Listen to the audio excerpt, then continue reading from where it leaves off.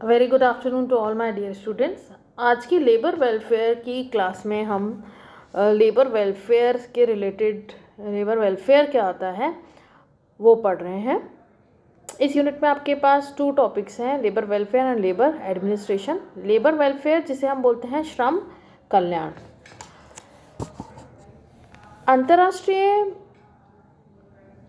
श्रम संगठन जो है, वो ये कहता है कि ऐसी सुविधाएँ जैसे, ऐसी सेवाएँ और सुविधाएँ जैसे सुव्यवस्थित जलपान गृह, विश्राम गृह, मनोरंजन सुविधाएँ, घर से कार्यस्थल तक और कार्यस्थल से घर तक आवागमन की सुविधाएँ तथा अन्य ऐसी सेवाएँ जिनसे कार्यक्षमता में वृद्धि होती है, श्रम कल्याण की परिभाषा में सम्मिलित की जाती है। तो लेबर वेलफेयर क्या है? लेबर वेलफेयर, वो सारी सुविधाएँ हैं जो जो अभी मैंने आपके सामने रीड करी हैं, जो कि एम्प्लॉयर प्रोवाइड करता है टू द वर्कर्स और एम्प्लॉयज़ अंतर्राष्ट्रीय श्रम संगठन जो है, वो ये कहता है कि भोजन की व्यवस्था जो इकाई के भीतर की गई हो या अन्यंत्र, विश्राम या मनोरंजन की सुविधाएँ तथा जहाँ सामान्य आवागमन के साधन विकसित ना हो, वहाँ श्रमिकों को आवागमन की सुविधाएँ प्रदान करना आदि बातें इसमें सम्मिलित करनी चाहिए। अब हम देखते हैं क्या क्या नीड है, क्या आवश्यकता है लेबर वेलफेयर वर्क करने की। पहला पॉइंट हम देखते हैं कि बहुत बहुत बड़े बड़े उद्योगपति हैं और उनकी उदारता का फल यह नहीं मान यह फल नहीं माना जाता है। हम ये कहते हैं कि ये जो लेबर वेलफेयर का वो काम कर रहे हैं, वो उदारता के कारण नहीं करते हैं। ये श्रमिकों को संतुष्ट करने के लिए एक आवश्यक शस्त्र समझा जाता है। ये मानसिक व नैतिक स्वास्थ्य में वृद्धि करना व सामाजिक बुराइयों को दूर करता है। श्रम बदली व अनुपस्थिति की जो दर होती है, जो रेट ऑफ़ एब्सेंटिज्म होती है, उसको कम करता है। औद्योगिक शांति बनाए रहता है। किसी तरीके की हड़ताल या तालाबंदी होने की संभावनाएँ जो होती है, वो कम हो जाती है। कार्य में व्यक्ति का, की रुचि रहती है। उसके साथ साथ सामाजिक दृष्टि भी जो होती है, उसके लिए भी ये लाभदायक लाभदायक माने गए हैं। अब हम देखते हैं इसका क्या उपदेश है। लेबर वेलफेयर वर्क जो है उसका क्या उपदेश है? सबसे पहले यह आंशिक रूप से मानवीय कार्य है कार्य है, मानव के लिए करने वाला कार्य है। श्रमिक की क्षमता तथा श्रमिक पूर्ति में वृद्धि करता है ये, और उससे जो संगठन प्रवृत्ति जो होती है करने की की दिशा में लाभदायक माना जाता है, उसको ऑर्गेनाइजेशन से अटैचमेंट होता है, इसकी वजह से। वह श्रमिकों में उत्तरदायित्व की भावना जागृत करने में सहायता प्रदान करता है। अब हम देखते हैं types of labour welfare work क्या है। टाइप्स को हमने हमने टोटल थ्री पार्ट्स में डिवाइड किया है। पहला है इंटरनल एंड एक्सटर्नल वर्क जिसे अपन बोलते हैं आंतरिक व बाह्य कार्य। सेकंड है रोज़गार की दशा, संबंधित व रहन सहन की दशा संबंधित कार्य। और थर्ड आता है अनिवार्य एवं ऐच्छिक कार्य। इंटरनल और एक्सटर्नल कार्य की बात करें तो उसके अंदर जो का, कारखाने के अंदर या जो का, जहाँ कार्य किया जा रहा है उसके अंदर ज, जिस जगह पे कार्य किया जा रहा है उस कारखाने के भीतर अगर कोई सुविधाएँ देते हैं जैसे दुर्घटना की क्षतिपूर्ति शिशु गृह अल्पाहार गृह की व्यवस्था, जलपान की व्यवस्था, स्नान करने तथा कपड़े धोने की व्यवस्था, सुरक्षा के उपाय जैसे चलने वाली मुख्य मशीनों पर ढक्कन, मशीन से मतलब ये सारी अगर सुविधाएँ वहाँ पर दी जाती हैं इंटरनल तो वो होती है इंटरनल फ़ंक्शंस और एक्सटर्नल की बात करें, जो कारखाने से बाहर की होती है, जैसे आने जाने की सुविधा, मनोरंजन सुविधा खेल कूद शैक्षणिक सुविधा पुस्तकालय, वाचनालय, ये सारी सुविधाएँ। सेकंड पॉइंट देखते हैं, रोज़गार की दशा संबंधित या रहन सहन की दशा संबंधित कार्य, जिसके अंदर श्रमिकों के रहन सहन की दशा संबंधित कार्य के रूप में किया जाता है।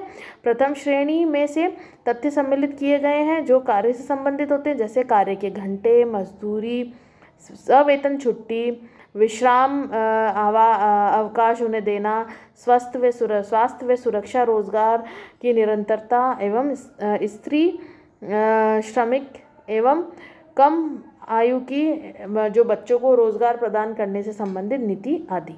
तो ये रोज़गार की दशा संबंधित है। थर्ड आता है अनिवार्य एवं इच्छिक कार्य। इसके लिए एक्ट बनाए गए हैं, जैसे कि बागान श्रमिक अधिनियम 1951 खान अधिनियम 1952 कोयला खान श्रमिक कल्याण कोष अधिनियम 1957 कर्मचारी राज्य बीमा अधिनियम 1948 कोयला खान भविष्य निधि कोष अधिनियम बोनस योजना 1948 कर्मचारी भविष्य निधि क्रो अधिनियम 1952 तो ये थे टाइप्स ऑफ़ लेबर वर्क अब देखते हैं scope of labour welfare work क्या रहता है? ये जो डायग्राम है, वो आपको ये बताता है कि पहला है कि कार्य संबंधित वातावरण की दशाएँ सेकंड है शारीरिक व मानसिक स्वास्थ्य संबंधी थर्ड है आर्थिक कार्य और फोर्थ आता है सामान्य कार्य। पहले में वातावरण से रिलेटेड इसका है स्वच्छ वातावरण प्रोवाइड करना, इससे रिलेटेड स्कोप रहता है इसका। संयंत्र, स्वच्छता पेयजल जलपान गृह अन्य जैसे पुस्तकालय, वाचनालय, ये सारी चीज़ें आती हैं। सेकंड शारीरिक व मानसिक, जैसे कारखाना के स्वास्थ्य केंद्र है, वहाँ पर औषधालय है, स्त्री व शिशु कल्याण के लिए वहाँ पर कार्य किया जा रहा है, श्रमिक मनोरंजन है, शिक्षा, सांस्कृतिक कार्यक्रम आदि किए जा रहे हैं। थर्ड आता है आर्थिक, जिसको हम बोलते हैं सहकारी समितियाँ। समितियाँ उसके अंदर होती हैं। सस्ती दुकानों सस्ती दुकानें होती हैं जहाँ पर उनको कम दरों पे जो चीज़ें हैं वो मिल जाती है, बचत योजनाएँ उनके लिए बनाई जाती है, अन्य सेवाएँ भी इसमें सम्मिलित है।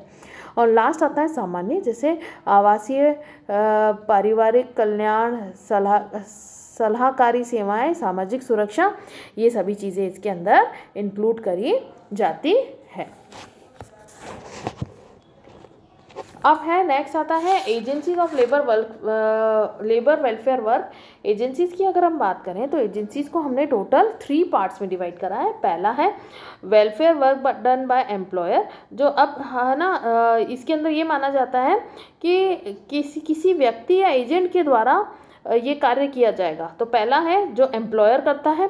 एम्प्लॉयर क्या करता है? जैसे जो जैसे जैसे अगर मान लीजिए सूती वस्त्र उद्योग है तो उसके अंदर वो शिशु हेतु स्कूल, आवा आवास व्यवस्था, अध्ययन यात्राएँ कुश्ती प्रतियोगिता ये करवाता है। लोहे एवं इस्पात उद्योग है तो उसमें चिकित्सा सुविधा, विशेष बीमारी के लिए चिकित्सा, खेलकूद, क्लब फ़िल्म प्रदर्शन पटसन उद्योग है, जिसमें जूट मिल्स एसोसिएशन है, रेल उद्योग है तो इसके अंदर अगर लेबर वेलफेयर से रिलेटेड विश्राम गृह है, स्वास्थ्य सुधार केंद्र है बंदरगाह व गोदी उद्योग है, उसमें अगर आप मृत्यु, चोर, बीमारी, वृद्धावस्था के कारण अगर कोई समस्या उत्पन्न हुई है, बागान उद्योग, खनन उद्योग तो ये एम्प्लॉयर यहाँ के अलग अलग एम्प्लॉयर्स क्या करते हैं? लेबर वेलफेयर एक्टिविटीज़ या वर्क करते हैं। फिर आता है ट्रेड यूनियन करती है। सेकंड कौन है? एजेंसी ट्रेड यूनियन करती है। जैसे ट्रेड यूनियन सबसे पहले केंद्र में श्रमिक वाद विवाद विचार विमर्श, सामूहिक वार्ता, संगोष्ठियाँ, बैठक, अध्ययन केंद्र होते हैं, उनके समाज, शिक्षा कक्षाएँ होती हैं, मनोरंजन के कार्यक्रम होते हैं, जिनको वो को आयोजित करती है। जैसे जो अनुसूचित जाति की लड़कियाँ हैं, उनके लिए छात्रावास, ये सिलाई सिखाना, उन्हें कशीदाकारी, खाना बनाना, ये सारी चीज़ें उनको सिखाई जाती हैं। Welfare work done by state जितनी भी हमारे स्टेट्स हैं स्टेट्स में जो है, कल्याणकारी जो हर एक स्टेट ने अपने यहाँ कल्याण केंद्र खोल रखे हैं कुछ में तो ये नंबर बहुत ज़्यादा है और कुछ में बहुत कम है और वो वहाँ पर उनके जो केंद्र हैं वो अलग अलग तरीके की, ये जो लेबर वेलफेयर वर्क है वो करती रहती है। फिर इसके अंदर items of labour welfare work अब लेबर वेलफेयर वर्क क्या क्या आइटम्स आते हैं इसके अंदर? सबसे पहले वर्किंग कंडीशन से रिलेटेड कार्य की दशाएँ इंप्रूव करनी है। वेंटिलेशन अच्छा होना चाहिए टेम्परेचर कंट्रोल में रहना चाहिए लाइटिंग पूरी होनी चाहिए स्वच्छता बनी रहे, कार्य के घंटे जो हों, वो इतने ज़्यादा नहीं होने चाहिए जिससे व्यक्ति का शोषण माना जाए। लीव एंड हॉलीडेज़ के प्रोविजंस बना रखे होने चाहिए और जब अवकाश है तो उन्हें अवकाश मिलना चाहिए।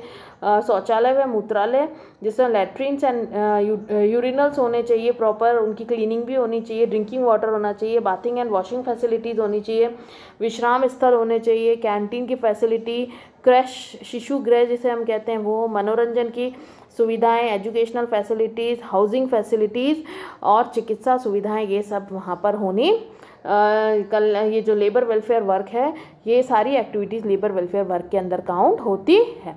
अब आपका ये जो टॉपिक है, वो आज यहीं ख़त्म हो रहा है। आपका इंपॉर्टेंट क्वेश्चन जो बनता है, इसके अंदर है what is labour welfare labour welfare से आप क्या समझते हैं? सेकंड है explain the objectives and scope of labour welfare and third आता है write a note on agencies of labour welfare work अगर इससे रिलेटेड आपको कोई भी क्वेश्चन या कोई क्वारी है, कोई चीज़ समझ नहीं आई है तो आप मुझे पूछ सकते हैं। इसके जो नोट्स हैं वो मैं आपको शेयर करूँगी।